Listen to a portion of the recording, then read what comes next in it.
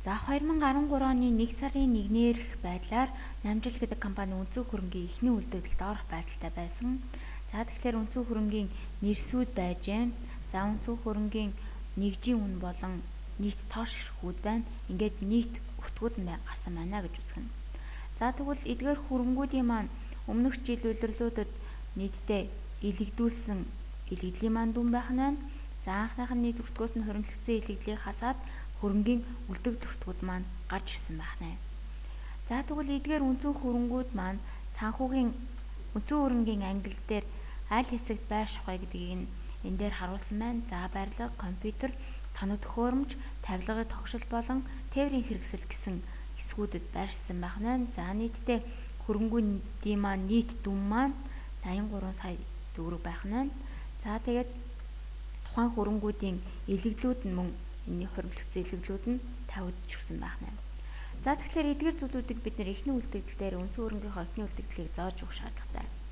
За үүний түрүүнд бид нэр эхлээд а програм дээрээ ажлын хүснэгтэн дээрээ тайлан балансаа гаргах гэж байгаа учраас өмнөх оны үлдэгдэл болон өмнөх хүлэрлийнхаа үлдэгдлүүдийг хөрөнгийн үлдэгдлүүдийг зааж өгсөн байх шаардлагатай. За тэгэхээр Нэгдүгээр улирлын тайлан баланс гаргаж байгаа учраас 3 сарын 31 гэж тогтмол мэдээллийн он сарыг өгсөн. За ийм учраас өмнөх оны баланс, өмнөх оны баланс ажлын үснэгтийн ихний үлдэгдэлээр зоогддог учраас за манай хөрөнгүүдийн дүнгууд маань ижлэхэн юм тэнцүү хэмжээгээр зоогдсон байх нэ.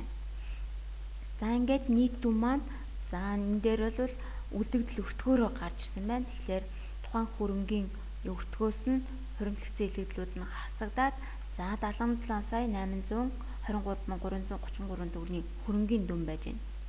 За энэ дүн болвол за миний өнцөг хөрөнгийн бүртгэлээр барьж байгаа нийт нийт өнцөг хөрөнгийн дүнгээс хуримтлагдсан илэглийг нь хасаад гарч ирсэн дүн байх нэ. Энтэй болвол тэнцэж явах шаардлагатай байна. За тэгэхээр бид нэр ажлын хүснэгтэн дээр програм дээрээ ажлын хүснэгтэн дээр ихний үлдэгдлийг өнцөг хөрөнгийн ихний үлдэгдлийг зааж өгсөн. За тэгвэл мен шийд рүүгээ ороод харъя. За мен шийдэн дээр алдаа хянах хэсэг буюу зүрсэн дүн гэсэн хэсэг дээр орж ирсэн байх нэ. За энэ дээр үнцэн хөрөнгийн эхний үлдэгдэл зөв орсон хэсэгт гэдэг дээр зөрүү байна гэж үзэх нэ. Тэгэхээр бид нэр үнцэн хөрөнгийн тайлан гаргана гэсэн учраас ажлын хүснэгтэн дээр эхний үлдэгдэл гэж зоосон л бол үнцэн хөрөнгийнхаа програм руу орж эхний үлдэгдлүүдийг мөн зааж өгөх шаардлагатай байх нэ. За тэгвэл тайлан арах гэсэн давчлуур руу ороод хөрөнгө гэсэн хэсэг дээр байрших Үнцэн хөрөнгийн дэлгэрэнгүй бүртгэл гэсэн хэсэг рүү орж иж эхний үлдэгдлийг зааж өгнө. Эхний үлдэгдлийг зааж өгдөг учраас шар өнгөтэй байх нэ уг тавчлуур маань. За үнцэн хөрөнгийн эхний үлдэгдэл заах үнцэн хөрөнгийн дэлгэрэнгүй бүртгэл гэсэн хэсэг маань гарч ирсэн. Тэгэхээр энэ хэсэг дээр бид нэр үнцэн хөрөнгийнхөө эхний үлдэгдлийг зааж өгөх шаардлагатай гэж үзэх нь. За эхлээд програм дээр ажиллахад цагаан дэвсгэртэй хэсэг дээр бид нэр гараас мэдээллийг оруулж өгнө. Харин цэнхэр буюу саарл дэвсгэртэй хэсэг маань өөрөө автоматар гарах нэ гэж ойлгох юм. За эхлээд бид нар үнцэн хөрөнгийнхөө нэрсийг оруулж өгөх шаардлагатай. За тэгэхээр данс болон үнцэн хөрөнгийн жагсаалтыг оруулж өгөх шаардлагатай байх юм. За манай дээр барилга байсан. За гих мэтчлэн тоног хөрөмжүүд байж байгаа. Тэгэхээр тухайн гих мэтлэн өнцөг хөрөнгийн маань нийт нэрс нь байж гэн. За өнцөг хөрөнгийнхөө нэрсийг бүгдээрээ зоогоод өгчээ. За өнцөг хөрөнгийн маань нийт дүнгууд байж гэн. За үүнийг бид нэр за зоож өгөх шаардлагатай өнцөг хөрөнгийнхөө дүн дээр за чагсаалт гэсэн хэсэг дээрээ бид нэр өнцөг хөрөнгийнхөө нэрсийг нь оруулаад өгнө. За данс гэдэг дээр нь за барилга болвол данс барилга хөрөнгө гэсэн дансанд хамаарна. За ноутбук i5 болвол компьютер гэсэн дансанд хамаарна. За бид нэр тухайн байгууллагад нийт хөрөнгүүд болон за дансныхаа кодуудыг сонгоод өгсөн байгаа. За ингэснээр үнцэн хөрөнгийн жагсаалт гэсэн хэсэг дээр маань тухайн хөрөнгүүд маань нэрс нь гараад ирсэн байж байна. За гэтэл энэ дээр нэр байршил эзэн гэсэн байж байна. За тэгвэл нэр байршил эзэн гэсэн хэсэг дээр энэ дээр бол тухайн хөрөнгийг хариуцж байгаа эзэн болон тухайн хөрөнгө хаана байршиж байгаа байршил нь бас байх шаардлагатай. За тэгвэл хариуцах эзэн нууган баяр байршлан гандрас гэсэн байж байна. За тэгвэл тухайн хариуцах эзэн болон байршлыг нь бид нэр оруулах шаардлагатай байх нэ. За хариуцах эзэн гэдэг дээр нь ууган баяр. За байршил нь гандирс. За тэгвэл бүх бүх хөрөнгүүдийг маань уган баяр гэдэг нь хариуцдаг учраас нэр болон байршуулуудыг нь оруулаад өгнө.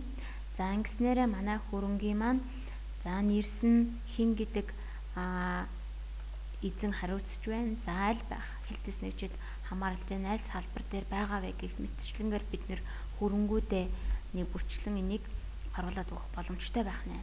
За дараагаар нь ашиглалтанд орсон он сарыг нь оруулж өгөх шаардлагатай.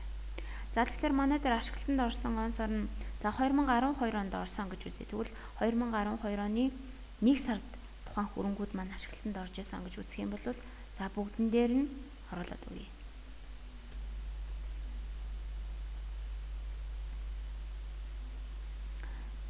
За ашиглалтанд орсон онцлогдор за эхний үлдэгдэл болон нэгжийн үн байж гэн. За тэгэхээр эхнийхөө үлдэгдлийг зоож өгье.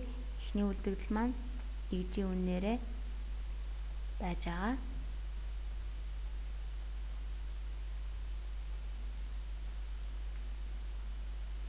За эхний үлдэгдэл нэгжийн үн оруулж өгсөн. За одоо дараагаар нь бид нар тухайн хөрөнгийн өмнөх улирлуудад илэгдсэн илэгдлийг нь оруулж өгөх шаардлагатай.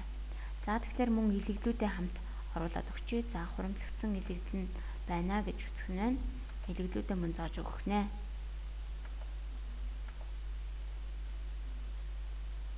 За ингэснээр бид нэр эхний үлдэгдлийг зааж дууссан. Тэгэхээр эдгээр зүйлүүдийг бид нэр эхний үлдэгдлээ маа зааж дуусчаад зөв орсон эсхийг нь бид нэр шалгах шаардлагатай.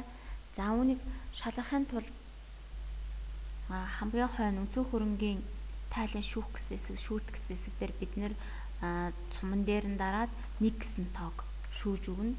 За ингэснээр өнцөг хөрөнгийн дэлгэрэнгүй протокол маань за зөвхөн бидний гараас оруулсан мэдээлэл гарч ирэх боломжтой болж байна гэж үзэх нь.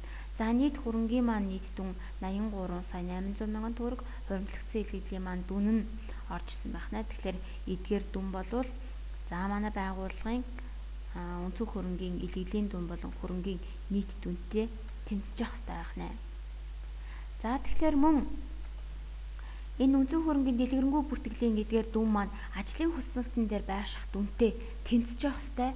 За түүнийг хэрхэн харах вэ гэхээр за эхлээд тэнцэж байгаа хэсгийг нь шалгахын тулд бүгдээрээ за шүүлсэн шүүлтүүрээ буцаад селект олоолгоо бүгдийг идэвхтэй идэвхтэй болгож өгнө. За үүнийг дараагаар бид нэр тайлан арах гэсэн төвчлөр рүү ороод хөрөнгө гэсэн хэсэг дээр байрших. За үнцэн хөрөнгөний нэгтгэл тайлан хэсэг рүү орж харна.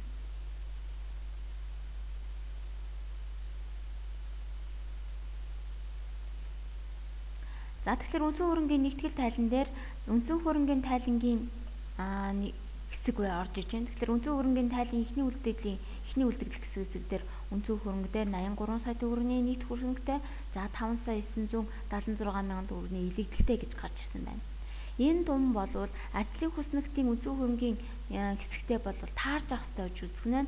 За ажлын хүснэгтэн дээр ихний үлдэгдэл хэсэг дээр мөн 83 сая за тэгээд илэгдлийн дүн нь 5 сая 976 мянга гэсэн хэсэг байж байна.